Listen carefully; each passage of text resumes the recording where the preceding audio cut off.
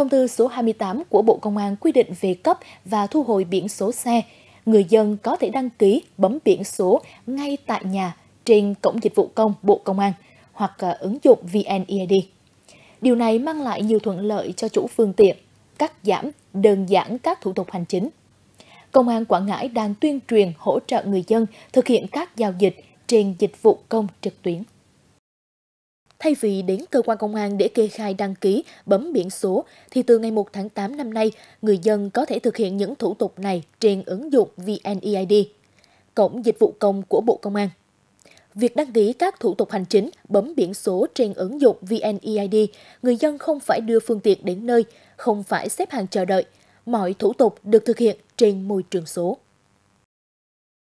Hồi xưa là à, tất cả các xe đăng ký thì mình phải tới công an để à, làm hồ sơ trực tiếp. Thì à, hiện tại thì à, sau khi có ứng dụng của VNED á, thì người dân có thể ở nhà khai trực tiếp online. Thì sau đó thì à, công an sẽ cấp biển số về tận nhà cho mình cho nên là cái cái này giúp cho người dân thuận tiện đỡ phải đi lại từ đầu tháng 8, Bộ Công an tiếp tục thực hiện giải quyết thủ tục hành chính đối với dịch vụ đăng ký xe, bấm biển số trên môi trường số. Quy định này được áp dụng với trường hợp đăng ký xe lần đầu bằng dịch vụ công trực tuyến toàn trình đối với xe sản xuất lắp ráp trong nước. Người dân chỉ cần đăng nhập trên cổng dịch vụ công hoặc trên ứng dụng VNEID một cách chính xác với các bước được quy định. Tải ảnh chụp xe lên môi trường số. Ngành chức năng sẽ thông báo về biển số xe được cấp, hướng dẫn nộp lệ phí đăng ký xe qua tin nhắn điện thoại, thư điện tử hoặc thông báo ngay trên ứng dụng để chủ xe thanh toán online. Khi mà từ ngày ngày 1 tháng 8 áp dụng cái dịch công toàn trình đó thì sẽ giảm áp lực. À, đối với cán bộ đăng ký xe là cán bộ đăng ký xe không phải um, lượng xe. Nếu như bình thường thì lượng xe tới sẽ rất là đông thì áp lực công việc rất là nhiều.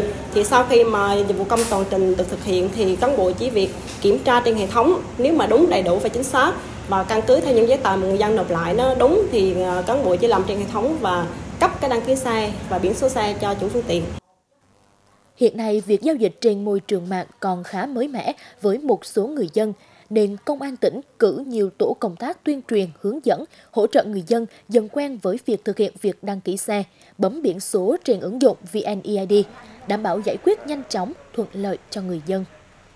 Việc à, đăng ký xe lần đầu trực tuyến toàn trình đối với xe sản xuất lắp ráp trong nước đây là một trong à, nội dung thủ tục hành chính mới được Bộ Mang ban hành nhằm là mang lại những cái kết quả thuận tiện nhất cho người dân, đảm bảo là người dân không phải đi lại làm thủ tục đăng ký xe, mà có thể là làm đăng ký trực tuyến ở nhà hoặc ở bất cứ đâu, đảm bảo khi người dân khai đầy đủ chính xác, trung thực các nội dung, các thông số trên hệ thống dịch vụ công thì sẽ được trả kết quả theo quy định việc triển khai đăng ký xe, bấm biển số trực tuyến trên môi trường số giúp người dân dễ dàng tiếp cận dịch vụ công, giảm bớt thủ tục và thời gian chờ đợi.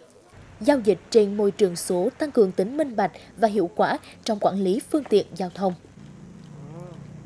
Quá đẹp luôn.